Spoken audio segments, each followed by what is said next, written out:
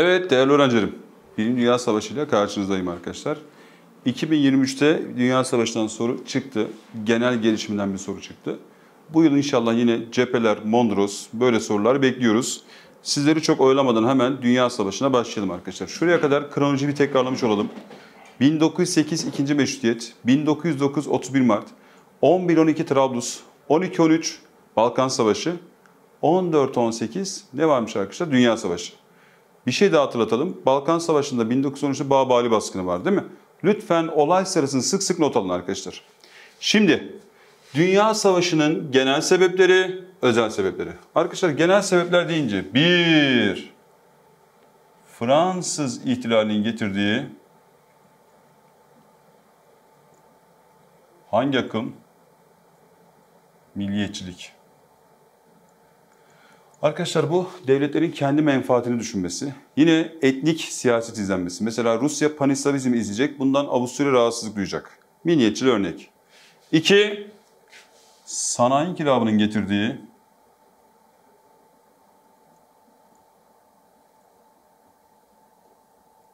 sömürge rekabeti, özellikle siyasi bir geç sağlayan Almanya ve İtalya'nın arayışları, güneş batmayan ülke İngiltere'nin menfaatlerini korumak istemesi değil mi? Üçüncüsü arkadaşlar bakın bir yandan milliyetçilik, iç işlerine karışmalar, etnik siyaset, bir yandan sömürge rekabeti değil mi? E bu sefer savaşın kokusu gelmeye başlayınca devletler ne yapacak? Silahlanacak. Mesela en çok silah satan ülkeler kimdir arkadaşlar? ABD ve Almanya'dır. Bu sefer silah herkeste var. Ne yapacak devletler? Menfaati uyanlar kendi bloklarını seçecekler. Diğer sebep ne olacakmış arkadaşlar? Bloklaşma.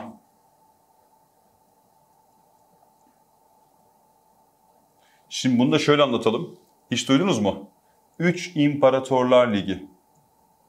Üç İmparatorlar Ligi.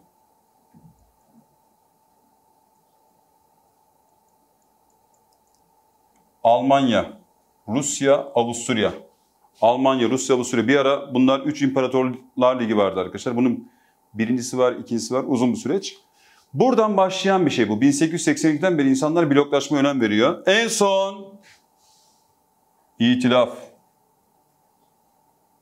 ve ittifak devletleri kuruluyor. Peki itilaf devletleri demez. Soruda sayısalcı arkadaşlar ne der? Anlaşma devletleri der.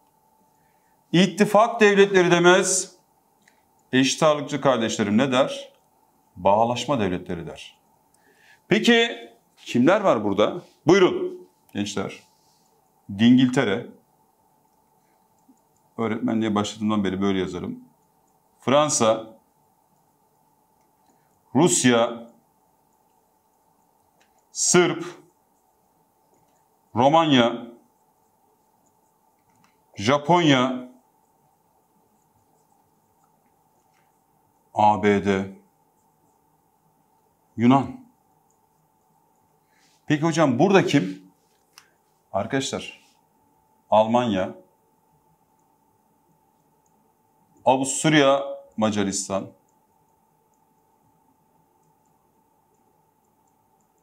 İtalya, güya önce burada ama transfer olacak değil mi? Bekle. Daha sonra kimler katılacak? Bulgaristan, daha sonra kim? Osmanlı. Şimdi arkadaşlar buradan hangi tarz soru gelebilir? İtilafta kim var? İttifakta kim var? Böyle sorular beklemiyoruz. Bunlar 7. sınıf 6. sınıf sorular olur. Değil mi? Zambak ve coşku yayınları vardı eskiden. Ona benzer şeyler yani. Yok akıl küpü, yok zeka küpü. Sosyal bilgiler sorusu olur. Buradan ne gelebilir? 1. İttifaka son katılan devlet.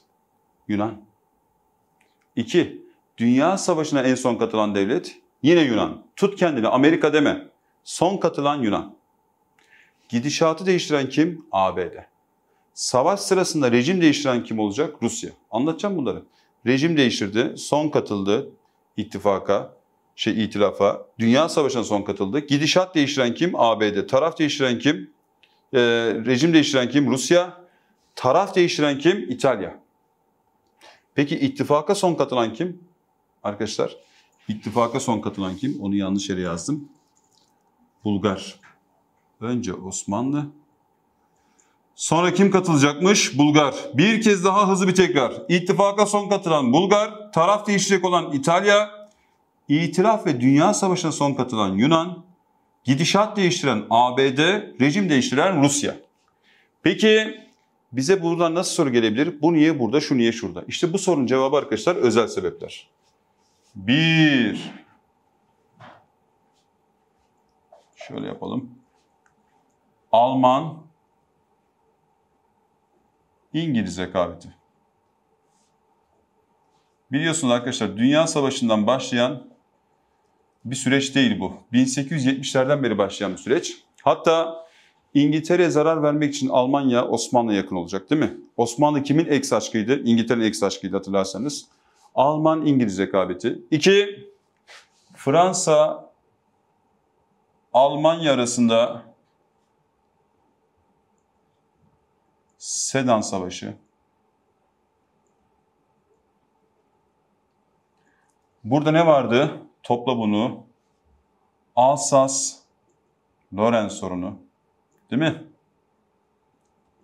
3. Değerli arkadaşlar.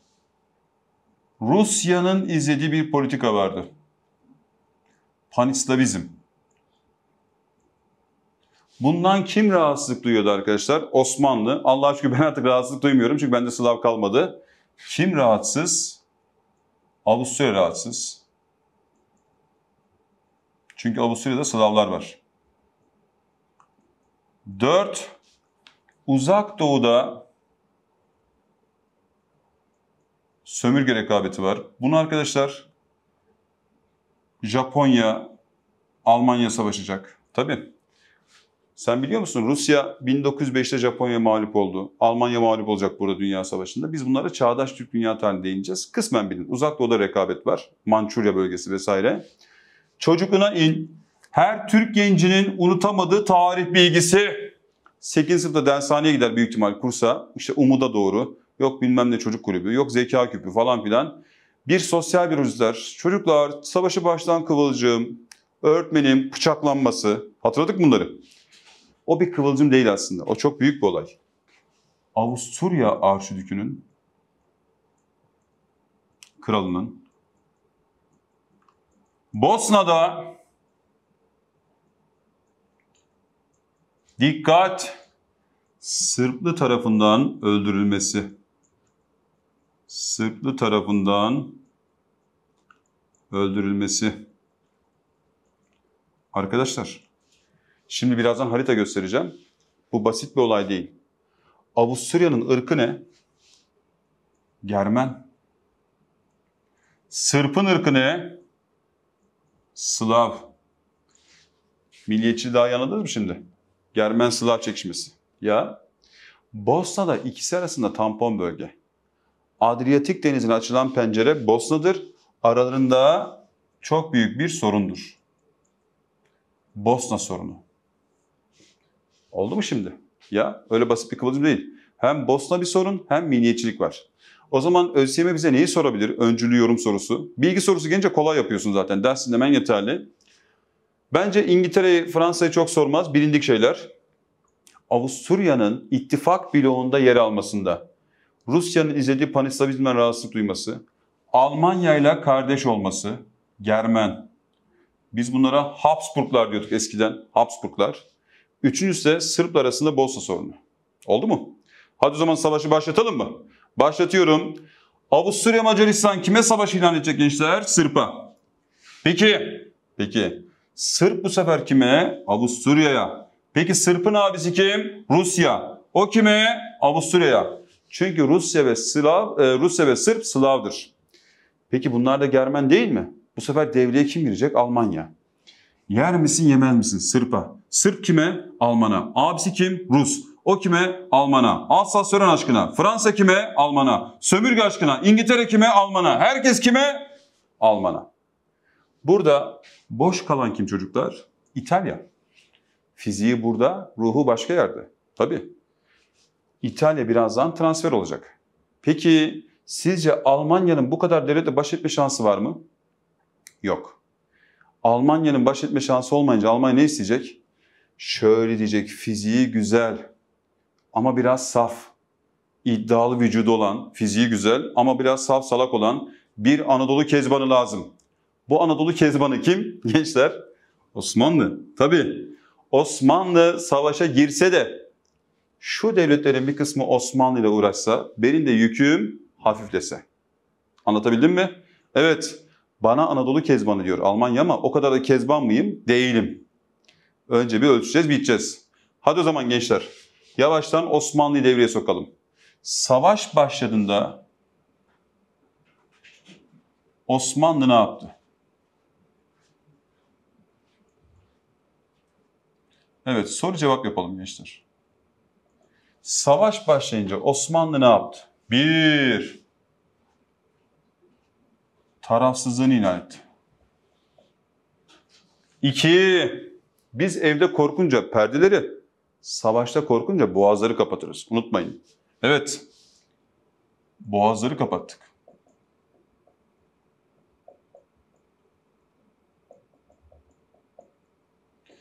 Üç, ya bir yandan da ne olur ne olmaz dedik. Bu kadar çılgın bir fiziğim var. Benim savaştan etkilenmemem mümkün değil dedim. Seferberlik ilan ettim.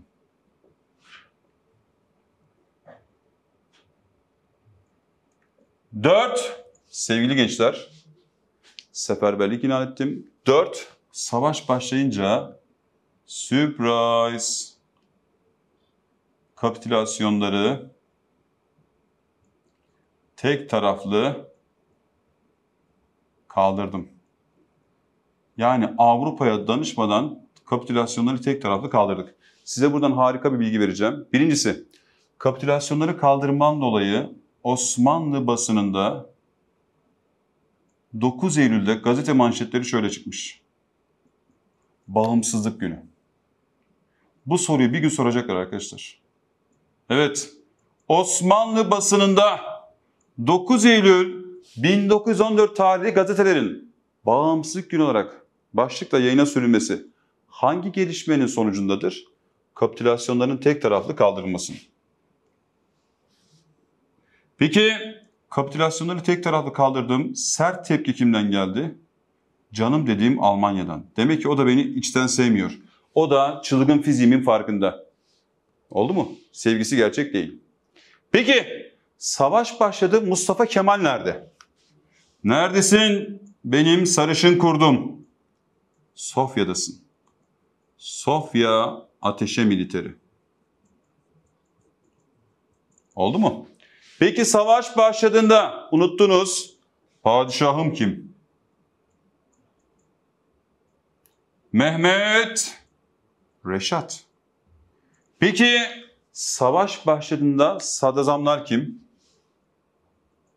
Yani savaş sürecinde.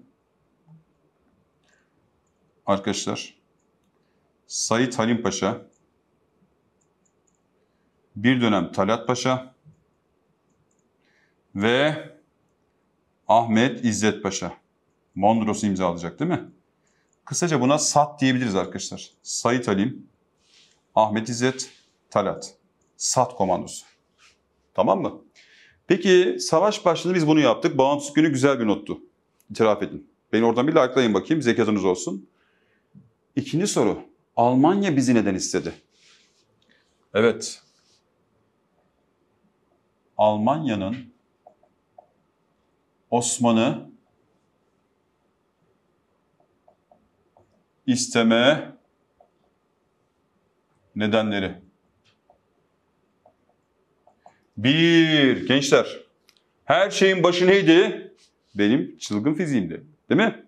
Yani Osmanlı'nın jeopolitik konumu. İlk lütfen bunu cevaplayın. Şimdi benim sevmediğim öğrenci kim biliyorsunuz mu?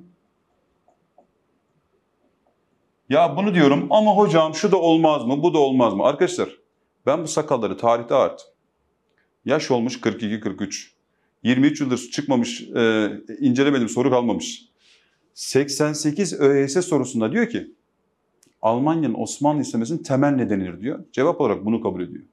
Yani ben bunu söylüyorsam ego veya kapristen dolayı değil, gerçek olduğu için söylüyorum. Tamam Bazı arkadaşlar var, ön lisansta, lisansta da var bu. Ekim ayında KPSS bilmiyor. Mübarek Haziran ayı olmuş İlber Ortaylı. Ama şöyle olmaz mı? Ama böyle olmaz mı? Lütfen kafayı tarihle bozmayın. Tarih gayet net bir ders. Tamam? İki, jeopolitik konumu. Arkadaşlar cephe sayısını arttırıp, kısa yazıyorum. Alanı ne yapmak? Genişletmek. Yükünü ne yapmak? Hafifletmek. 3. İngiltere'ye zarar vermek için bak bir hilafet makamını kullanmak. Çünkü İngiliz sömürgeleri genelde Müslümanlar değil mi? E, halifelik de bizde arkadaşlar. Mehmet Reşat aynı zamanda halife değil mi? İşte hilafet makamı demek hangi duyguyu kullanacak?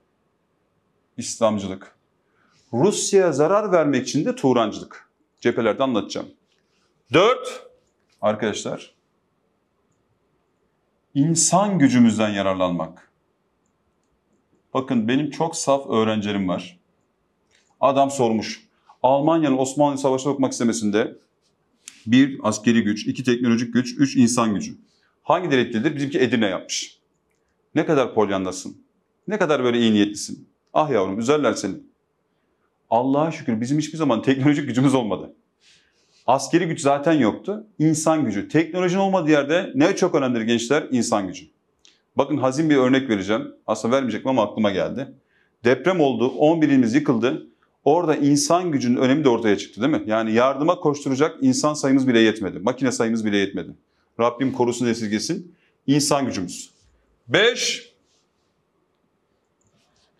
3B politikası. Ahmet Hocam 3B politikası ne? Berlin, Almanya, Bağdat, Bakü. Arkadaşlar Berlin, Bağdat, Bakü. Berlin, Almanya, Bağdat, Bakü, Orta Doğu, Kafkasya. Buradan ne fışkırır? A. Tahin pekmez ve petrol. Evet. Oh! İşte bunun için kime yanaşması lazım? Osmanlı'ya. Peki Osmanlı Almanya'nın çıkma teklifini hemen kabul etti mi? Anadolu Kezbanıyım ama biraz da mantıklıyım canım. Hemen kabul etmedim. Çünkü daha bu yakışıklı olan ama atanmamış, işi gücü yok. Tabii havalı storyler paylaşıyor, spora gidiyor, siyah tişört falan giyiyor ama daha işi gücü yok. Kafelerde falan storyleri çok güzel ama daha bir şey üretmemiş. Hayatta hiçbir başarısı yok. Değil mi? Onun yerine ex aşkıma dönüyorum. Bir ilişkide başınıza gelecek en kötü olay nedir?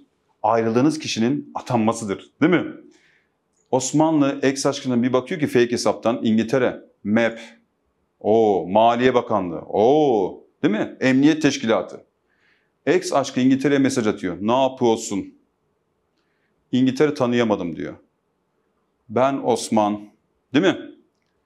Ya diyor başıma bir olay geldi. Senden başka güvenecek kimsem yoktu. Buyur buyur şöyle böyle. İngiltere'ye yakın olmaya çalışıyorum. Ertesi gün oluyor. Bu sefer İngiltere numaramı kaydetti ya. Gece 11'de gene mesaj atıyorum. Ne yazıyorum? Uyudun mu? Uyumadım diyor. Seni bekliyorum diyor. Diyorum ki bak İngiltere benim iki tane gemiye ihtiyacım var. Bana diyorum iki gemi gönder. Parası peşin kardeşim diyorum ya. Bizde öyle şey yok diyorum. Sırf yakın olmaya çalışıyorum. Anladınız mı olayı? Peki bende peşin verecek para var mı? Yok. Çünkü benim gelirim kimde? Duyunum el koydu. Rüsumu sitte. Altı vergi el koydu. Nakit param yok. Gençler bizim camilerin unutulmaz sloganıdır. Ne verirsen elinle o da gelir seninle. Camide hutbelerden para toplandı Hindistan dahil. O parayı aldım İngiltere'ye gönderdim. İki tane gemi sipariş ettim. Reşadiye ve Osman. Mehmet Reşat'tan dolayı Reşadiye, Osman Devleti'nden dolayı Osman. Gemi sipariş ettin mi? Flörte çalışıyor muyum? Ya bir yandan da İttihat Terakki'nin bazı bürokratları İngiltere ve Fransa'ya somut görüşmeye gidiyor arkadaşlar. Tabii. Lan vakit geçiyor, gemi gelmiyor. İngiltere'den bana çıkma teklifi de gelmiyor. Neden? Çünkü o da atanmamış ama fiziği güzel, güzel Anadolu Kezbanı yerine atanmış daha zengin olan Rusya'yı tercih ediyor. Diyor ki ben şimdi Osmanlı'ya flört edersem, savaşı biz kazanırsak, Osmanlı yanımda. E ben kimi paylaşacağım? Paylaşacak kimse yok. Beni paylaşacakları için Osmanlı'nın yan, Osmanlı yanına çağırmıyor İngiltere. Tabii. Sen diyor ortada kal. Garanti olsun. Ben birini bulamazsam elbet senden bir şeyler yaşarım. Evet, ben bu mua- muameleyi hak ediyor muyum gençler? Etmiyorum. Bu sefer ne yapıyorum? Yaş kemale erince iyi kötü evimin direği olsun diye ne yapıyorum? Mantık evliliği. Evet, kimle birlikte olmaya başlıyorum? Almanya'yla. O zaman buyurun, arabesk bir soru. Arabesk bir soru. Neden? Neden Almanya? Buyurun. Bir. Yalnızlık. Üç nokta koyalım. Bu gece de bir yakalım be. Değil mi? Yalnızlık. Gülben Ergen'in güzel şarkısı olsun fon müziği. Yalnızlık alır götürür. Vay bana yazık bana. Değil mi? Arkadaşlar birine güvenin kırıldıktan sonra tutunacak bir dal ararsın. Biz o dal olarak kimi bulmuşuz? Almanya'yı. İki, güvensizlik. Kime güvensizsin? İngiltere'ye. Çünkü İngiltere senin yanına çağırmadı. Ortada kalmanı istedi. Üç, benim arkadaşlarımın hepsi kime hayrandı? Almanya. Kız hadi manyak mısın bunu kaçırma dediler. Beni ilişkiye zorladılar. Evet, Alman hayranlığı. Çünkü İttihat Terakki liderleri Almanya okullarında eğitim görmüş. Almanya'yı becermişler arkadaşlar. Yani böyle bir Almanya'nın ordusunu, askeri yapısını görmüşler. Dört, neden Almanya'yı tercih edip savaşa giriyorum ben? Son kaybettiğimi geri almak için. Son kayıpları telafi için. Gidip yükselme dönemi canlandırma. Nereye kaybettin sen? 12 Adar, Rodos, Trablusgar, Balkanlar değil mi? Buraları geri almak için. 5. Kapilerden kapiler diyorum gençler. Duyunu umumiyeden kurtulmak için. Bir de Orta Asya'daki Türklerle bağlantı kurarız. Almanya bize destek verir. Pantürkizm için. Oldu mu? Peki benim savaşa girişim nasıl oldu? Şimdi 2023 KP sorusu buradan çıktı. Şımarmayacağım. Sadece bir kere söyleyeceğim. Benim video ders notum ve videolarımı izleyen herkes o soruyu yaptı arkadaşlar. Bilgi vermek kolay artık. Mühim olan konuyu bağlamak, yorumlamak oldu mu? Evet. Şimdi Osmanlı'nın savaşa girişi.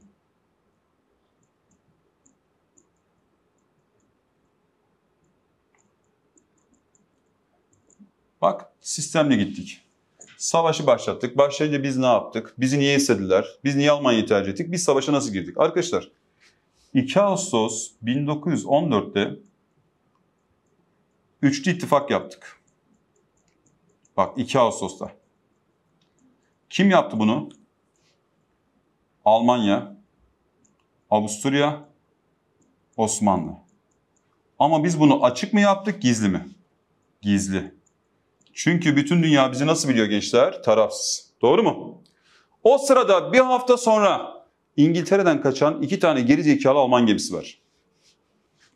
8-9 Ağustos.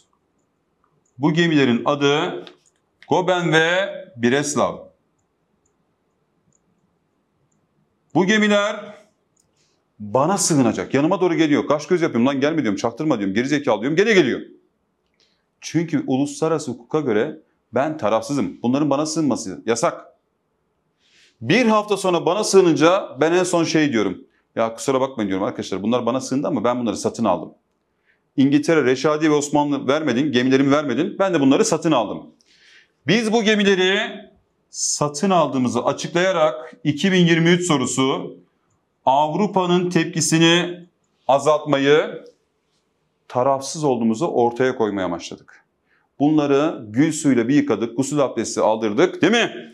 Goben'le Breslav'ın adını Yavuz ve Midilli yaptık. Sonra bu gemiler gitti gençler. 1914'ün Ekim sonu Kasım başı. Siz gidin Rusya'nın Sivastopol ve Odessa limanlarını bom balayın. Korkmayın çocuklar. Al Osmanlı savaşa girdi işte. Osmanlı'nın savaşa girmesi bu arkadaşlar. Buyurun. Bizim savaşa girişimiz böyle olmuş. Satın aldığımızı açıkladık. Sonra Rusya savaş ilan ettik. Aslında savaşı ilan etmemiz kendi irademiz olan bir şey değil. Ben gusül abdesti aldım, gülsüyle yıkadım. Tamam gemiler ehli müslim oldu ama mürettebat Alman. Tabi dıştan baktığında türbe yeşili, içine bakıyorsun Hans. Bunlar gitti burnun dikine Rusya'yı bombaladılar. Ben savaşa girmiş oldum. Bir halt yedim girdim. Peki ben savaşa girince ne oldu? Asıl konu bu. Evet buraları gördük mü gençler? Ben savaşa girince ne oldu? Kitabımıza yazar. Yazar. Bir, savaşın alanı ne oldu? Genişledi. Cephe sayısı ne oldu? Arttı. Bekle. Süresi uzadı. Bekle. İngiltere Kıbrıs topraklarına kattığını açıkladı. Ben Berlin'de geçici verdiğim Kıbrıs'ı İngiltere topraklarına kattığını açıkladı. Aşk ile şevk ile buyurun. Osman Savaş'a girince cephe sayısı arttı, alan genişledi, süresi uzadı. İngiltere Kıbrıs topraklarına kattığını açıkladı. Halife tekbir, cihat ilan etti. Peki ben tekbir dedim. Müslümanlardan, Araplardan Allahu Ekber sesi geldi mi? Hayır. Onlar İngiltere ile flörte başlamışlar. Tabii ben tekbir diyorum. Onlardan gelen ses I love you. Değil mi? Araplar İngilizce öğrenmişler gençler. Öğrendik bunları. Peki ilk açılan cephe hangi cephe olacak? Kafkas cephesi. Değil mi? Biz saldıracağız. O zaman buyurun. Savaş başladı. Osmanlı savaşa girdi. Hangi cephelerde hangi komutanlar savaştı? Sebepleri sonuçları nelerdir? Bunları önce harita üzerinden sonra tahtada sizlere anlatacağım. Bir sonraki videoda.